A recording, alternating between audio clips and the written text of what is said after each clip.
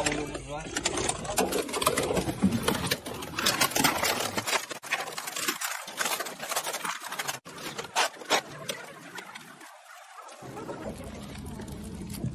Renk ve görünüm itibariyle esrar maddesi. Şuna da bakalım Özgür. Renk ve görünüm itibariyle esrar maddesi.